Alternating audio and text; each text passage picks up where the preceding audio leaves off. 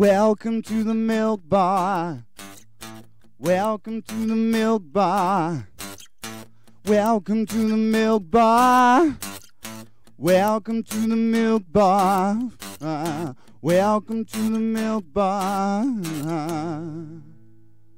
Welcome along to episode 696 of the Milk Bar. Jason Forrest here with you as ever. And, and back to normal surroundings. It's been a, a bit of a, a, mad few weeks for me and my family. Sadly, my mom passed away last week. And uh, uh, during the time of visiting hospital, uh, seemed to have been a bit here, there, and everywhere. And uh, I'm going to absolutely miss her something rotten. Those of you who will uh, uh, have watched the end of the credits on the video version of the podcast last week will have seen the tribute that we paid there.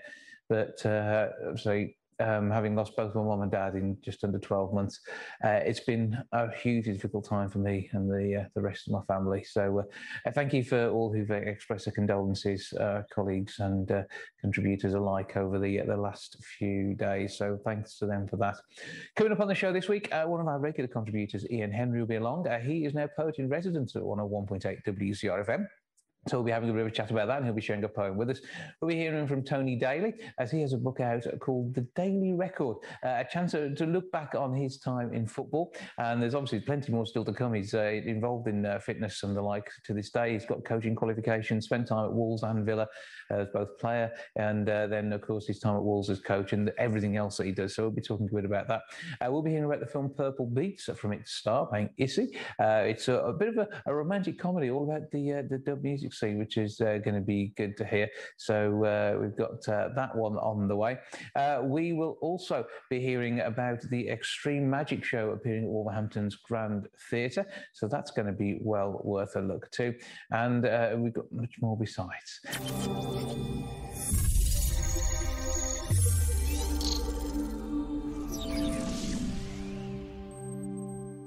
On the 31st of October is Halloween, and there will be extreme magic at Wolverhampton's Grand Theatre. Somebody who's part of that show and has already given us a taste of the amazing magic he can produce when he was in Panto in Sleeping Beauty in 2018 is Richard Cadell, who joins me now. Hello, sir. Hello. it doesn't seem uh, four or five years ago since I was at the Grand and that it was a fabulous panto. I had such a happy time there, and I can't wait to go back. Well, yeah, and uh, we love the panto too. And uh, I remember when I interviewed you, and I was attacked by a small yellow bear that you have an awful lot to do with. Uh, but uh, yeah, on the receiving end of the water pistol. But I, th- I think that's a badge of honour, isn't it? Yeah, yeah, it is indeed. Yeah, but nothing could be further from the Sooty show in the show that I'm bringing, or we are bringing to the Grand on Halloween night. This is uh, extreme magic, so it's nothing like Sooty and Sweep. But in itself, though, uh, this is going to be hugely entertaining. As I say, we all, we've already seen some of the magic you do. I was shocked because I didn't know you did magic, and we find you now behind the scenes with all sorts of props around you. So yeah, Tell us a, a bit about the, the, the show itself and what we can expect, because there's you and some amazing colleagues too. Bless you. Yes, it's well, it's going to be edge of your seat, thrilling magic. So this is a combination of circus skills and illusion. So genuine danger, but still very entertaining. Some great laugh out loud moments because there's a whole cast of us. You know, so I'm doing some big spectacular illusions. Uh, John Archer's making everybody laugh, but blowing the mind at the same time. We have Lance Corporal Richard Jones, incredible mind reader, winner of Britain's Got Talent, and flown in from Spain, Arcadio, the most fantastic manipulator, and then Solange from Portugal doing her quick change and some wonderful magic. It's a fantastic show. It moves like lightning, but it's edge of the seat stuff, thrilling and I, I, think this is what we need in theatre, isn't it? Because you can see this sort of stuff on TV and you go, yeah, it's all tricks and cameras. When it's actually there on stage in front of you, you know you've got talented performers making this magic happen. And it is this pure skill. There isn't any trickery. Absolutely. And I mean, I think that, well, there is trickery. It's just well, we yeah. hope you can't spot it. Yeah. but you're absolutely right. And, and people have seen so much magic now on television through Britain's Got Talent. It has reawakened their love of magic. But you have to, you've nailed it. When you're in the theatre and the motorcycle vanishes in the middle of the air, or, you know, a girl is cut into eight pieces and you are feet away from it, then that you can you know the wow and factor is, is incredible because you know as you say that we're not cutting to any camera angles we're not cheating we're not sneaking people out the back when the camera's are not looking. It's real. And um, we've got the honestly all the shows come from vegas. All the illusions of this from the david copperfield workshops. This is unlike anything that's been in the uk before and will probably never happen again. This is a sort of a very short tour. Um, the producers brought together some some incredible performers and um, it looks sensational. Pyrotechnics, lasers, lights, you know, all the all the Vegas dressings. It, it's all here. It's absolutely got it all. And and the thing is, I mean, uh, I mean, I say I didn't realize, you know, you did a lot of magic, but actually, I think magic was your first appearance on the Sooty Show back in the day, wasn't it? You were a magician as a kid. You've done your homework. In fact, I tell a little story in this show. Um, I put I there was one magic trick that I was famous for, uh, or became not famous for, became known for when I was back in my early twenties, and because of this trick, I, I, got to perform with a lot of people, and that's where I met Matthew Corbett and and, and my path crossed with Sooty. So uh, it was a career, a game changer for me, and I'm performing that illusion again in this show as a tribute to kind of where it all began. And it, it, it's um, yeah, you're right. So magic left has led me to Sooty, and now I'm back doing magic as well as Sooty. Yeah, well, it's great though, and I think it, it's it shows how, and you are a hard working performer, and I think it's it, people. You know, will really get that from the show. I mean, having seen you in Panto, I know just how blooming hard you work. But it, I think this is next level. And yeah, and, and people don't see the hard bit they see the fun bit. I mean, I'm just going to give you a quick flip around here. You can see uh, all this. I mean, this this is we've got two 40 foot Arctic lorries here that that that that start life full. We bring all this equipment into the theatre. Um, there's loads behind me, and I mean, I've just you talk about graft. I've this is a you can see this. This is a, a heavy lifting winch, and it goes wire ropes all the way up into the ceiling. And I rig that myself in order that I can be lifted in the air at one point of the show um, on a burning rope, trying to get out of a straitjacket before these do. steel jaws slam shut. Yeah, and and one thing I wanted to just mention that I think is special about the Wolverhampton Grand: a, it's the last night of our tour, but b, um, the Houdini straitjacket escape. We're doing it on on the on the anniversary of his death because Houdini died on Halloween um, mm-hmm. famously. From so so this is a very poignant moment to try and recreate um, something that Harry Houdini was famous for, but in slightly more uh, nerve-wracking situations, I suppose you could say. Absolutely, and uh, I think this this is part of it. You, you're going to get a show like no other. I don't think there's anything else touring like this at the moment, is there at all? There's never been anything like this in the UK. There's lots of magic shows. Yeah, yeah. You get there and they're fantastic, and it's a guy with a pack of cards, and some other guy might do something where maybe they do one box or one illusion, but you don't get 24 illusions and five performers and Vegas, you know, eight dancers I mean, not in not for a one nighter. It doesn't happen. I've been in the business all my life. I've never been in a show like this. I've dreamed of being in shows like this. I've watched shows like this in Las Vegas. Um, you know, this is a one-off. This is uh, this is a producer with a huge passion for magic, not worried about numbers financially. This is about putting on the best show he can, and and um, and, and there's been no expense spared, no expense. I mean, there's a massive crew team that you never see that are pulling all the triggers, making the sparks mm. fly out. We've got uh, flame machines, smoke. I mean, there's so much happening behind the scenes. I mean, this is a massive team. It's not just five people. There's 20 odd people touring in this show. Um, it, it's it's and and more importantly, I could just it's going to the Grand, which is the most beautiful theatre. You, you're just with such a beautiful, beautiful place to put the show. So, yeah, I, am so excited to get back there. Well, I tell you, it'll be amazing. It's going to be awesome having you there. It is, as we say, Halloween, the 31st of October, 2022. It is 01902 429212 for the box office or pop along to grandtheatre.co.uk to get your tickets. But uh, we can find you online as well, can we? Where would be our best place to see what you're up to? Well, I mean, the easiest place is just to search Extreme Magic on Facebook. Extreme as in X, the letter X, Dream Magic. Or all the information, if you can remember this one, is on shoneproductions.co.uk. And shown is H S H O N E productions.co.uk. There's tour pictures, uh, there's the tour list, and there's lots of info about performers. But uh, just Google it, it'll all pop up. But or of course on the Grand, the website Yeah, on the go- Grand, the Grand's own website will have Yeah. stuff. Yeah. There's links there too, but grandtheatre.co.uk. Get your tickets that way. You can find out more about the show. But I mean, Rich, I think you've covered all of it's there and more for the fact that we've seen a bit of what's going on behind the scenes as well. For me, that's been amazing. And we're looking forward to having you in the city on Halloween with an absolutely awesome show. Thank you for joining us. Take care. Bye.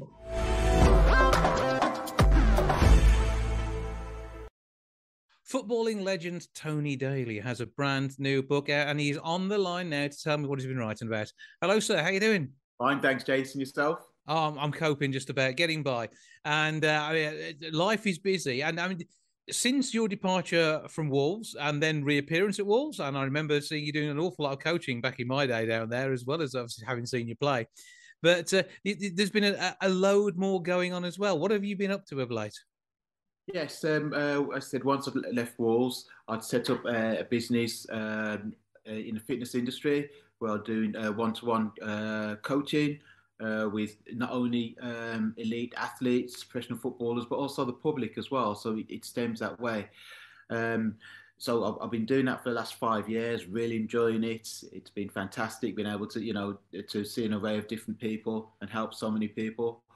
Also as well in that meantime as well in between COVID and that, I decided to write a little autobiography, little book. But I mean, you've got an awful lot of stories to tell, and uh, I mean, for the Midlands football scene, this is going to be uh, not so much an expose, but an amazing sort of romp through some brilliant history and and good times at, at both clubs. Even though you know the world of football can be rather fickle. Yeah, it has been. You know, uh, uh, I would always say I had a fantastic career. Yes, it was cut short with injury and everything else, and but it's nice to actually sit back and uh, you know relive some of the stories. I mean, a lot, lot of stories I got from from a younger age as well. I had to have help from uh, ex colleagues, friends, uh, family in terms of things that happen. You know, it, throughout my career, because I initially thought, well, I've got to write about type of thing as well, and going through it and uh, looking back, it was it was it was it was great really and as you said i've had some really really good times in football football's been really great for me and i'm you know so humbled and pleased being able to have the career that i've had When it comes to the, the title, the the Daley Record, I, I'm liking the play on words there. That is working. Uh, but I mean, it, it, is about putting on record so much, and, and I mean, you, you already said there, there's been help along the way, but uh, I, I hopefully, I, I, I think most people know you're, you're quite a humble man, but have done amazing things, and and it must be interesting trying to balance that out because I, I, again I, I know what you've you've done, and I know the brilliant work you've done behind the scenes in coaching, etc., and and and and working with with with players. So you know, it it must be great to be able to put some of that down and share those stories and and and get other colleagues' input as well. yeah i mean it's been great as you said you know i've, I've uh, in terms of my football my football life i've just told it as it was in in terms of it was. Yes, you, you know i need a bit uh, prompting and stuff like that because I, I, I had I said I had a career where football was meant everything to me, so this was part and parcel of my life. Going and doing my coaching career was part and parcel. It was a, was a normal normal step for me. So it, it did take a bit of um, edging and flowing to get you know more story, not more stories, more emphasis on the stories. And I'm thinking, well, that's yeah, that did happen and everything else, and realise that perhaps when you sit back and go, yeah, wow, you know, some some of the things, some of the people I met, some of the stories i've got to tell, um, not not only uh, during my football career, but also as well, you know, my my uh, ten years I had at the Wolves as a uh, football coach as well, you know. So again, uh, so there's some interesting things in the book as well that that uh, for me was great to relive. And, and of course, obviously, with your time at the Wolves, there's uh, there's there's bound to be some background uh, stories which are, are going to be fun that you're able to share. And again, it, it brings to life a, a period in Wolves history. And I, I think, have you got any magical moments from from Molyneux that you go into full detail in the book? You want to give us a bit of a flavour of now? I mean, I, I think as well, uh, what I found interesting was, I mean, I've, I've, gone into a little detail of fact, uh, the amount of managers I've worked under, but initially coming to Wolves at first and um, the furore it was not only with the fans as well, uh, and myself coming back as a fitness coach, which everyone found really, really ironic. And I, you know, the fact that, you know, the fact that uh, my career was, uh, was cut, short- curtailed through injury there and I would say through no fault of my own, you know, because I was at the peak of my career at that time and wanted to achieve as much as I can and help bring Wolves back into Premiership, but it never worked that way. Um, but the fact that, you know, Wolves fans go, well, why we getting someone's been injured, you know, his sick notes and everything else? but my story to tell was with that was that you know it's it's uh, a career that I, I, took upon something I was always been interested in fitness in terms of that. You know, I went off to university, got my degrees, and um, something that I'd always wanted to pursue, but also something I had to offer as well. To realise that you know, someone who's had the injuries I've had as well, I relate. I can I can relate to getting players fit and helping them get fit, and you know, all the times I had all those injuries, uh, some of the stuff I had to do to get fit. So, you know, when a player was injured and they're going for a bad spell as well, it wasn't just the physical side of helping them, but um, mentally as well. Mm-hmm. You know, having you know the empathy to what what those players players were going through. You can only speak to Matt Jarvis as well. You know, Matt Jarvis went through a, a really, really bad spell of injuries because before he, he, he peaked with Wolves and and you know and have playing a small part in helping him get through that as well. You know, not just on you know helping him physically as well, but being able to talk to him about you know the times that I had as well and be related that I think really helped him. So you know, have playing a small part of that really helped. So that side, um, I, I, think was was fantastic for me. Um, mm-hmm. um, something I really really enjoyed. I mean, you've got to realise that. Um, when I realised my career was coming to an end at Wolves, you know, I've been injured virtually three to four years that I was there it was something that I thought, hang on a minute, you know, I had to look at what career I was going to do. And coming back for me as well, when I had opportunity to come back under Mick McCarthy as a fitness coach as well, it was for me something like um, payback, you know, able to not being able to do it um, as a as a player, uh, being able to play some uh, small part in um, some very good successes I had at my ten years at Wolves as a as a uh, fitness coach.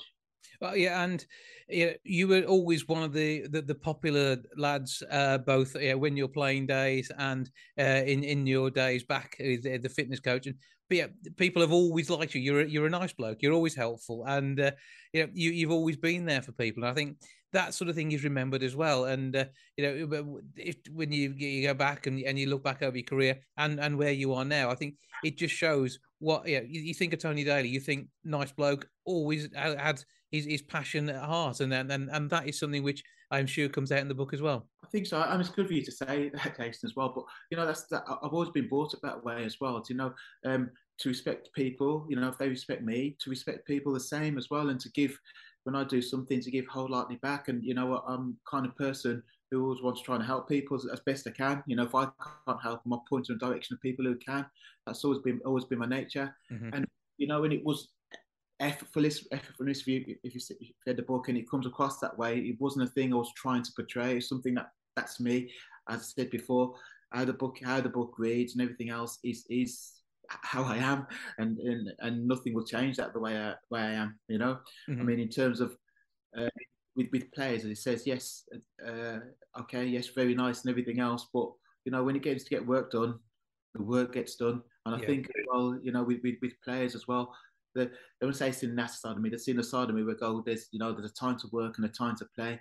So I, even though I have got that streak in me, I never had how to use it because they knew when it's work time, it's work time because they responded to the way uh, you know I worked.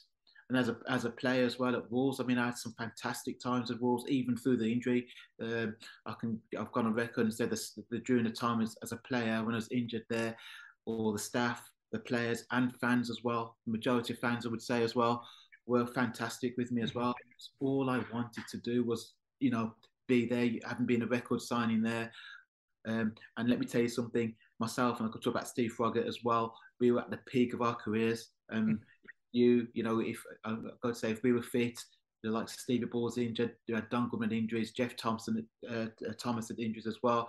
There was, you know, I think there was probably uh, seven or eight of um, the signings that um, Graham Taylor made who were injured. And if we had the team we had, there's no doubt that this, this team would have gone and, and, and been a force and gone and, and been that Premier League that first season. Yeah, well, I'm proud to say I was there to watch at the time and see the uh, the, the likes of the boys you're talking about on the pitch. We had a, a, a great time watching some good football. It never say didn't quite make it to where I think they, the the, uh, the power and the passion deserve to be. But the stories around all of this uh, in your book, The Daley Record. How do we get hold of a copy?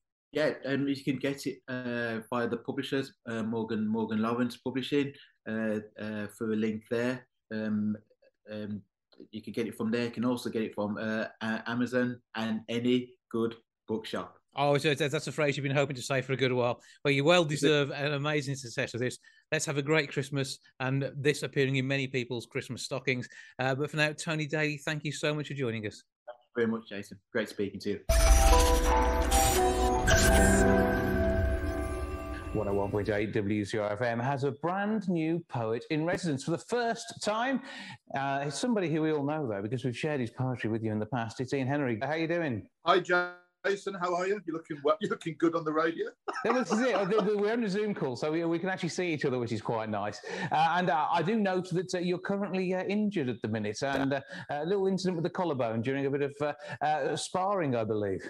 Yeah, my mother always says I've only got the face for radio, but here we are on Zoom. yeah, um, I do a lot of martial arts, and unfortunately, I thought I was Jackie Chan, and uh, I wouldn't get injured leaping over chairs and tables and doing forward rolls uh, and coming up in fighting positions. And I, I, was doing it all night without any problems, getting ready for my next grading in Krav Maga martial arts.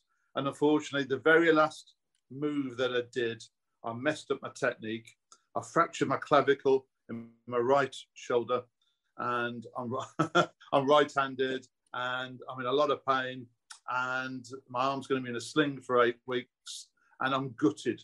I'm gutted not because I've got a, a broken shoulder, fractured clavicle, but because I can't drive, I can't go anywhere, I'm having to do everything one hand. And do you know what, Jason? I give my right hand to be ambidextrous. no dear. Right, keep that arm still then. Stop damaging yourself. Uh, and explain a bit more about what it's going to be like being poet in residence, because uh, it is something which has become hugely fashionable. And I, I know you've been poet laureate uh, for Walsall for a while, and uh, they've uh, enjoyed your work that way. But uh, it, it is a, a, good, not only fun thing to do, but uh, uh but also it can bring the thought and meaning to uh, a, lot of organisations and, and, allow them to be reflective in the right way.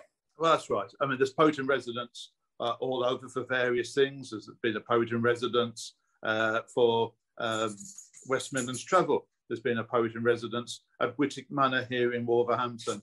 And I was invited to join the board of WCRFM as legal director uh, and it's, it's, a voluntary position, but people don't realise that uh, at WCRFM, um, it's sustained by over 10,000 voluntary hours per year. We do it because we want to serve Wolverhampton. We want to promote the various diverse sections of our community. Uh, the real heroes of WCRFM are people like you, Jason, the presenters who get up and do the shows and promote Wolverhampton's one and only radio station because all the changes in commercial radio and the British Broadcast Company, Wolverhampton, WCRFM is the only radio station in Wolverhampton. And I wanted to add to that, we're a team, all of us are a team. So when I was invited by the board to be legal director, it meant that I could serve the presenters, it meant I could serve the community in a different capacity.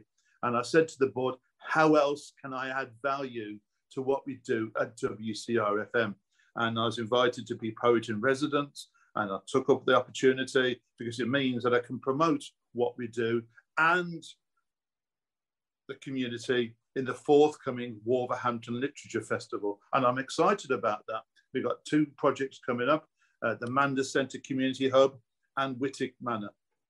So this is going to be a chance to have poetry out there in the wild in Wolverhampton in a way it's never been done before, and also to be able to share it on the radio too, which I think is quite uh, exciting. I'm looking forward to the fact that that is going to be a possibility. And uh, that said, I, I kind of have to ask: uh, with your left hand, have you penned any poems at the moment? Um, I can stab at stab at the keys on a keyboard. so, anything you wish to share today? Well, could I share the poem that I wrote for National Poetry Day, uh, which is on WCRFM's website? Mm-hmm. Uh, the theme for National Poetry Day was the environment, and I wrote this for WCRFM, and it's called Acorn. Could I share it, please? Take it away. It's called Acorn, and it goes like this Gilded October leaves blow through ancient forest. Anxious birds carried over miles of unspoilt land pulsing with life before disappearing under the bulldozer's shovel. Mist lay over the forest, then winter snow. acorn waits, fit to burst. March, a pale root finger groped the dark leaf mold, an acorn tip thrust a probing stalk towards the sun, a green periscope breaking out on the surface. The root examined the rich soil like a snail's horn, reveling in spring air, gentle rain, and yellow primroses splashed on decaying leaves. The human insanity of wars and persecutions were irrelevant. Birds had sung in the temple of leaves that was now an oak. What else mattered? Butterflies and wood warblers laid their eggs under its protection. Badgers built their set among the roots, and one ivy berry became a warm trust for birds the following winter. The forest was broken up into enclosures for farming, wild bogs and heathlands brought under the plough, trees chopped down, harmless wild creatures and plants condemned to death. Forest vanished, humans slaughtered beautiful wildlife for fun in the wood. No cuckoo note sounded, only in the noisy barking of dogs, the monotonous bellowing of sullen cows in endless fields, and the roar of the motorway pumping out diesel. Smog lay over the desert lands, smelling like old cabbages, shrouding the tower blocks of concrete and glass, reflecting stale canals, coursing through scarred earth of industrial ruin. In the little glade, the old oak was tired and ready to fall like a leaf back to the soil to become part of the earth where it had been born. After enduring centuries, it still had an acorn left, its last. Thank you. Excellent work and uh, uh, nicely reflective, and, and in some we can we can all see bits of that in the world around us. I mean, if you think of Rough Wood in my native Willenhall, uh, you know you've got um, a motorway which literally it now borders and cuts straight through it. Back in what must have been, I think I'm going to guess the 60s, the M6 went in uh, with the work that was done there, and uh, it, it, we need to make sure we're thinking of our environment, and certainly that uh, gives us excellent food for thought. And I'm sure you'll be reflecting on many events that come up in the, the Wolverhampton calendar. We've got uh, the opportunity to, uh, to, to welcome you on on air as as part of the team, which is going to be amazing. And uh, it'll be good to have you along. And uh, hopefully you can share on Wolverhampton today your new poems as we go into uh, these special events. So that will be absolutely fantastic.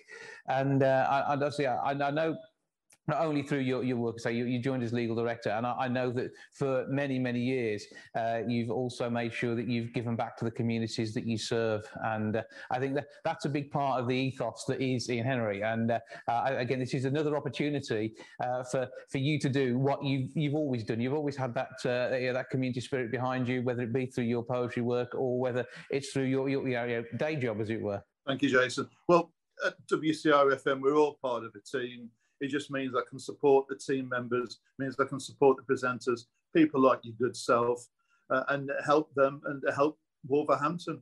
Uh, it's an unpaid role, uh, but if it means helping the community, like you help the community, Jason, then it's a win-win. Yeah, absolutely. Well, great talking to you. Thank you for sharing some poetry today. Um, I look forward to more, as I say, in the not too distant future. And uh, I'm sure there'll be uh, books and the like that we can continue to talk about as we have done for what the best part of a decade now. I think I've uh, I've been having uh, interviews with you on air. It's been my pleasure. Thank Never you. a chore, always a pleasure.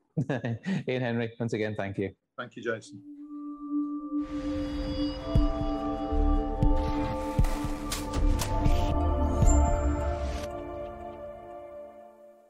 Purple Beatz is a coming of age drama. It's released on Halloween, the 31st of October, and the star is Issy Jones, who joins me now. Hello. Hello.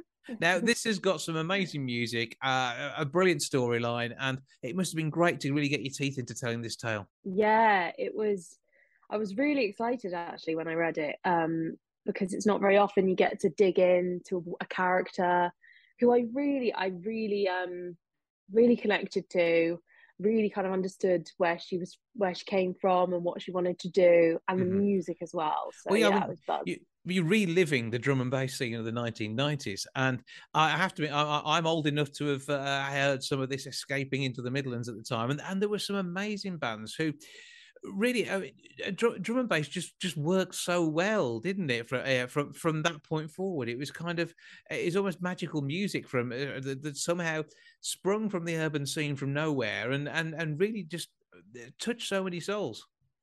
Mm, yeah it's it's so it's funny because um i sadly kind of missed the era but um, Lola, this film was kind of like my entrance into into the drum and bass world. So I still got it. I still got that kind of like entrance into it. But I do really like drum and bass. Um, Lola talks about uh, that that was that was definitely just her world, and it sounds like an absolute hoot. To be honest, it sounds like it really took off, and it was really exciting to be part of that new wave of music that kind of captured so many different genres and became its own thing as well. Mm. But but one that spoke to even more people than before. Obviously, the nineties were were indie rock in in many uh, parts of the world. Mm. Oasis were doing their thing. We had Blur, mm-hmm. but the, the whole scene when it came down to it, probably rawer music, I would say it was it was really at, at, the roots of what not only felt good to listen to, but also to move to as well. Mm, yeah, when I was doing um, the research, I was uh, I was so taken by the dance, the the mm-hmm. kind of like drum and bass style movement. Yeah. Um, that was really fun to capture in the film as well. Just that, just moving like they did in the '90s. Um, was slightly different to now, but uh, yeah, it was good fun. And uh, obviously, uh, a female-led cast and crew, which is uh, unfortunately it's still novel, but that in itself helps to tell this story, doesn't it? Absolutely, absolutely. It was a it was a real treat working working with the team. Um, Lola, Violetta, just great vision. Um, and yeah, it, it is. It's one of those things that it shouldn't be special, but it does. It, it does feel special to be able to do female led stuff, and I'm sure there'll be loads more. Um, there is loads more out now, um, so it was really exciting to be part of that as as as kind of lead actor. Yeah, and I mean you've got a, a brilliant team as well. Uh, the producer Jason Mathewson, award-winning uh, uh, actor, producer, and writer, and I think that again adds something to the whole genre when it's somebody who knows what they want on screen because they know how to give it on screen too. Definitely, definitely, it was a real. It, the joy of the film was it was a real collaboration of of brains um, and different people's skills as well. So uh, yeah, the whole thing the whole thing really came together in a in quite an exciting way, but in in a very shaky time as well. You know, we had COVID and everything. Um, mm-hmm. uh, so it was kind of it, the the film came together like SJ. She kind of pushed pushed through and made its mark and and created something when when times were a bit um rocky. So. So give us yeah. one of the intricacies of your character that you may not pick up until you've seen the film twice because it's one that people are going to go back to and see twice but sometimes it's it's it's those extra little bits that you don't realize until the end of the film. So what should we be looking out for as you travel through? No no spoilers but how do you how do you see your character? Um oh that's a good question. I i would say um mainly because I'm very proud of, of the little ditties that I created for the film. So uh, some of the songs, maybe you can pick them out. You probably won't be able to, but some of the songs in the film I I wrote. Um, specifically, one that was a collaboration uh, with a drum and bass track as well. Mm-hmm. Um, so so as a character, that's quite a, a pivotal moment for SJ and because you're both living it at the same time i suppose yeah, yeah, we did we did live it at the same time and the, the magic of that moment was uh, it was the first time anyone had heard it. Um, it's a big crowd which is a bit of a clue. A big crowd and and i i went out and sung it and it was it just all came together. And uh, yeah, it was it was like I lived that um, in real time. Uh, and we were able so to get along. Real. That was, I, like that as well, and I think uh, that being able to be part of that. And I mean, is there a soundtrack to to go along with this? Because it's all we can we can download a playlist on, so we can we can enjoy this music uh, outside of the film too. Well, not currently, but um, there has been talks of potentially um, re-recording some of the songs, Mhm. um, getting some of them uh, into a playlist where where people can listen. But yeah, that that would definitely be uh, something that I would want to go Yeah, for. I, th- I, th- I think that that there's more life in this project, isn't there? Even after the film and and um, the great reception it's had already. Yeah, it's had a really lovely reception. The the the the screening at BFI was lush. Um, had a really nice warm reception and people connecting to the drum and bass, and I think it's quite nostalgic for a lot of people.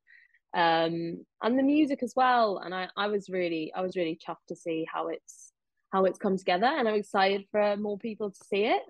Um, so we'll see we'll see what life it kind of takes on. Well, yes, it, it, it becomes the video on demand on the 31st of October. It is one to, to look out for. Uh, we are looking for Purple, P U R P L E, the standard spelling of purple, beats with a Z on the end, uh, very much like your headphones. Uh, and uh, Yeah. it is going to be uh, uh, great to bring so many more people into a, a rich genre of music, which I don't think always gets as much credit today as it should do. But it, it really was uh, at, at its inception something which which changed lives and communities. Mm. Yeah, it was um Lola said earlier, she she was saying how it, it, it had its time and then it kind of seemed to to fade out. But there is hope, I believe. I believe that there's potentially a resurgence of it and it's coming back in a new way, in new forms. Um, but it, it's that thing of can you ever quite capture the the initial the initial breakout of it as Well, a sound? that- Fingers crossed, it'll be your track crossed. that gets released that will make that happen. So that would be good to see. That would be uh, absolutely awesome. As I say, it is Purple Beatz. Absolutely. 31st of October. Make sure you're there. Issy Jones, thank you for joining us and uh, continued success with uh, the rest of your work and maybe even that full full on songwriting career that follows just now. Thank you very much. Yeah, we'll see. We'll see.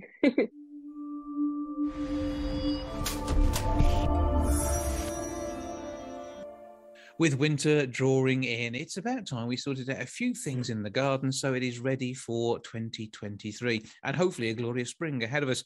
Somebody who can give us a few tips. Uh, you'll know him as a TV presenter, author, uh, Michael Perry, possibly, but certainly as Mr. Plant Geek. And he joins me now to tell me more. Hello, sir. Hey, how you doing? I'm all right, and I hope we find you well and preparing yourself for the winter months. Absolutely, but I was so disappointed because there was some research com- Hippo that told me only 2% of people garden in the winter. And I was like, how is this? Because for many years I've been talking about planting bare root plants, pruning your roses, clearing your waste. Winter is the best time to garden. Don't be the 30% that wait until spring because when you get to spring, you know, that first hot weekend in 2023, you're going to suddenly want to get out there, garden, you're going to buy all the plants that are already in flower. It's too late. You want to start planning now. Wrap up warm, soak up the vitamin D, plan the garden, mulching, planting. Winter is the key gardening season. Yeah, and when it comes down to getting things ready, it's, it's stuff like ordering seeds for the spring as well, getting the the bulbs ready and in place. Some want planting now, others will be later. But it, it, it's it's worthwhile preparing yourself for all of this. And most importantly, it's a bit of pruning that can be done. Oh, totally. So, good time of year if you want to get better flowers on your roses. Good time of year to prune your roses. Pruning fruit trees, key time of year if you want to have bumper crops on those.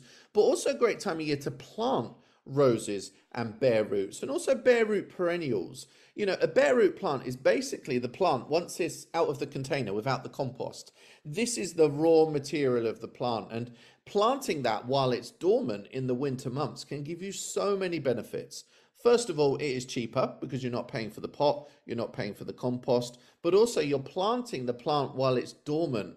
So it establishes a lot easier. We always wait until the spring and we buy a plant that's already in flower in the garden center and it's probably already past its best. So why not plan ahead, plant the bare roots, plant seeds as well. You know, even if it's cold and rainy outside, you could sit inside in a comfy armchair and plan out your garden, order your seeds. You know, ever since I've been young, I've loved that kind of yearly seed order, putting it in, choosing what I'm going to buy, getting all the top offers as well. So, yeah, it's a great time of year to just garden at your own pace. You Yeah, know, don't wait until spring. Yeah, that is that is a big part of it because it means when spring does come, there's you got a good chance to be able to sat outside on a nice spring day and enjoy a cuppa in the garden compared to having to dig that bed that which needs doing. So you know it, it's a, a much better way of, of using your time, particularly when you've got nothing else to do at this time of year, uh, maybe except think about Christmas shopping. I know, I know it is.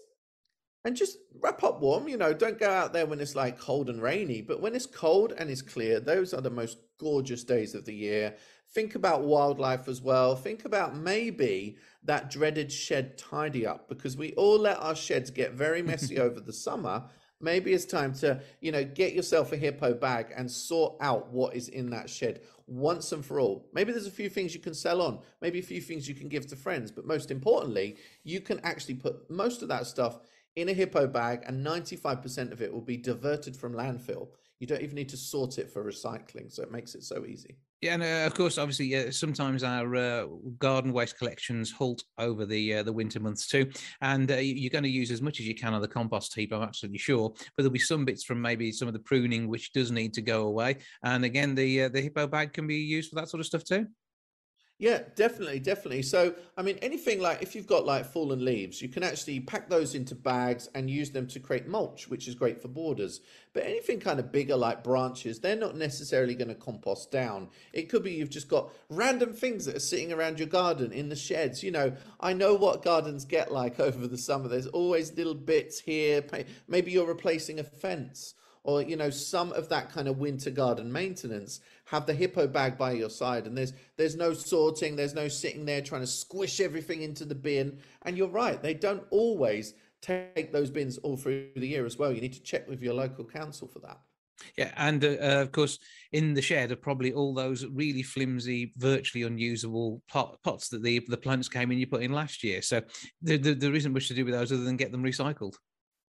Yeah, so some of those you can use them for maybe three or four years, but at some point they will start to split down the sides. So it's perhaps more sustainable, more responsible to then, you know, actually send those to be recycled and maybe look into a more sustainable type of pot. There's a few new ones on the market, such as wool pots or rubber pots as well. So maybe this is also a good time of year to kind of review the way that you garden as well. So Mhm. it's a good time all year round. And, And it keeps you busy because, Yeah, like you does. say, what else is there to do? but also you need to make sure your plants are ready. Now, sometimes this involves uh, wrapping them in, uh, in in special materials to keep them warm. Yeah, absolutely. So 24% of people we found didn't know that they can protect a lot of winter plants.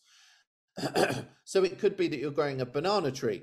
That's going to need some winter protection. It could be you've got something quite exotic, like a bougainvillea, for example. Make sure they're protected with fleece, old net curtains, maybe a piece of blanket, or in the case of plants like hydrangea, fuchsias, you can actually protect them with themselves. And by that, I mean, don't prune them back too soon. Leave that network of growth that actually protects the plants over the winter months. So, hydrangeas, penstemons, fuchsias, you prune those in the spring, not in the autumn. So lots of great tips there. Where can we get more tips from you? And of course, find out about the hippo bag that help us take away the bits we don't so need garden. hippowaste.co.uk will tell you more about those bags. Remember, 95% is diverted from landfill, which is perfect. You'll find out more about me online, which is Mr. underscore plant geek. Loads of tips, whatever the season. That's the way to do it. And uh, probably a bit of video footage of you actually doing the work so we know exactly what to do. But you can't, there's no excuse. You can't just watch uh, uh, Michael work. You actually have to do some of it yourself. Michael Perry, TV presenter, author, and of course, as you say, Mr. Plant Geek, thank you for joining us. Thank you very much. That's all for this week. Once again, thanks for being along. It'd be good to have you along for episode 697 next week. Hope to see you then. Meanwhile, have a fantastic week as best you can. Ta-ra for now. Goodbye from the milk bar. Goodbye from the milk bar. Goodbye from the milk bar. Goodbye from the milk bar. Yeah. Goodbye from the milk bar. Yeah.